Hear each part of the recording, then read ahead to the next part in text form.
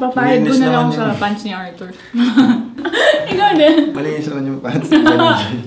Gusto ko lang kumain. Hi everyone! It's Janine Danyoso and kasama ko ngayon si Arthur Neri. And kakain kami ngayon habang tinatanong niyo kami. Random question to get to know each other. This one is fried siomai. Ito, kikiam. Tapos, kwek-kwek. My favorite. And then, fishball. Tapos, suka. Uh, bon appetit! Question number one. What's the weirdest dream you've ever had? Hala, wala, hindi ko maalala. Kasi every time na, na, na nanaginip ako, nakakalimutan ko siya. Di ba may mga ganon? Ibang buhay yung nasa, mga tao yung nasa panaginip. Mga zombies! Madalas ako nag-dream, panaginip ng mga zombies. Super scared ako sa World War Z. So, parang yun yung nightmares ko every time. Anong weird dream? Ganun din eh, mga multo. Ah, Oh, that's nice. Pero, yung multo na may lagi ako nakikitang face. Tapos, Oh, that's interesting. tapos, ngayon parang na-friend ko na siya. Like ever since I was a kid. Takot ako dati, tapos sa kanya, tapos ngayon, friends na kami. Next question. Napanaginipan mo na si Jenny, napanaginipan mo na si Arthur. Mukbang. Nakita mo na ba ako sa panaginip mo? Mm! What? Because I was a fan of Janine before. Paano? Ano? Concerts, ganun na parang may isang malaking concert. Andun lahat ng artists, tapos audience ako. So, So far, wala. Pero, sana bukas meron. Next. Do you believe in love at first sight? honestly, I don't think so.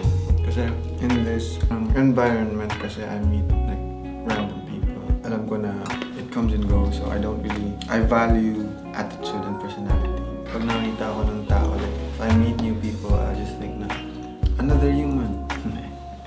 Parang ganun. Ako, I don't din.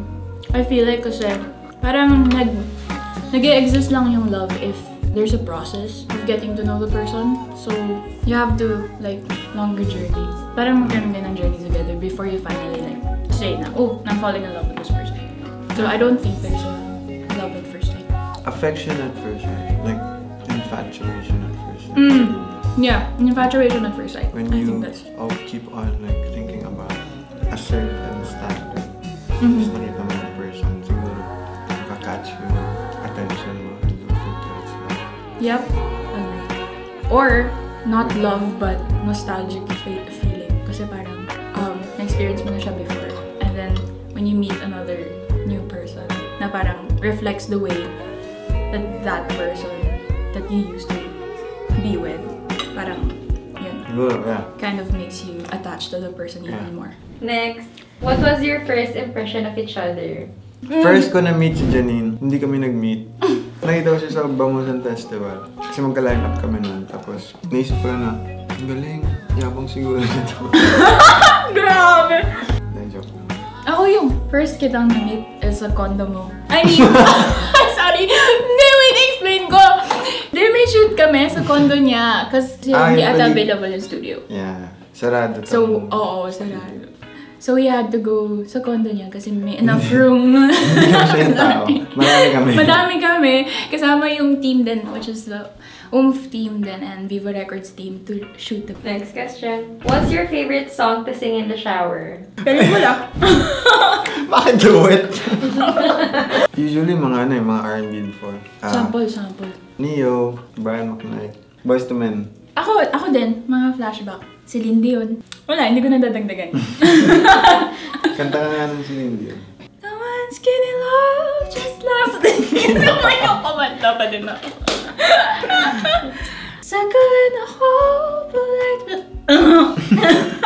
Next question. If you were in the middle of a zombie apocalypse, Uy. who are the three people you'd want on your team? My brother, third. Ako, Papa G. Papa G. Ikaw. ang hirap. Sister ko na lang. Kaya naiyak na. Next question. What's your favorite movie to watch over and over again? mm, I love this question. Secret Life of Walter Mitty. Have you watched that? You should watch it. Ako, Memories of Murder. I haven't It's a watched it. Korean film. It's about the serial killer na hindi siya nahuli ever. Ni-spoil ko na. Okay, next. If you could travel to any year in a time machine, what year would you choose and why? Ako, 1980. Kasi hindi pa ako buhay na. Kailan yung year ng Bangusan Festival? 2019. Yeah, nung time na nandun si Arthur, wala lang. Ah, mas napaaga yung kulang natin. Next question. What's the wildest thing you've ever done to get someone's attention? Whoa! Wow. Whoa! Si Arthur unang sasagot niyan. Yun lang. Kasi may mga kwento na nilakad nila from bahay nila papunta sa jowa nila para mag-sorry o para mag- makita lang, ganun. Ginawa ko na yun dati. Wait, yung akin, iniisip ko yung akin. Wala, parang wala. Sorry, hindi ko talaga alam. Tumakas na lang ako ganun. Para makipag-date sa BGC. Next question. If you had to guess what people appreciate you the most, what would you say? I think it's your not pagiging non-judgmental and you're like into it. You're very intellectual. Yeah, yeah. So I appreciate that. And you're not afraid to share it. But I mean, you're just like giving, yeah, take it all, dude. Mm. What I like most about Janine is she's very open-minded. She's calm and energetic, which is very weird. Tapos, she's very smart. She knows how to listen to music. What's your dream road trip destination? Iceland. Sino gusto mo isama doon? If you choose, if you will choose one person lang. My sister, she understands the same things as me, views the same things as me, and we like mountains together. So, siya. Road trip? Hindi ko alam eh. Kung pwede lang mag-road trip pupuntang Hogwarts. Oh yeah. Oh yeah. Sino gusto mo isama doon? Siguro my brother. Tokyo. Gusto ko din mo ng Tokyo. Oh yeah. Ang ganda ng Tokyo. I mean, gusto ko sa Japan yung part Mount Fuji. Oh yeah. That's a good destination. Swear, ang ganda dun. So mag-road trip papunta doon.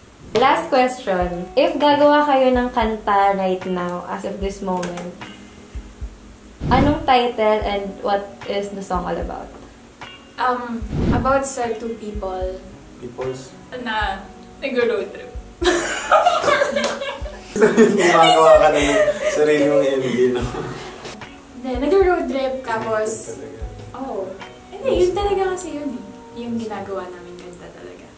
Na para sa inyo. Anong title? Kikiam. Yung title is... Actually, hindi ko alam. Patungong tayo. Thank you guys for joining us today sa aming mukbang. And I hope that you guys listen to our new latest release um, called Pelikula. Pag di nyo pa napapakinggan, it's out now on Spotify, iTunes, and YouTube. Pelikula by yours truly and Arthur May.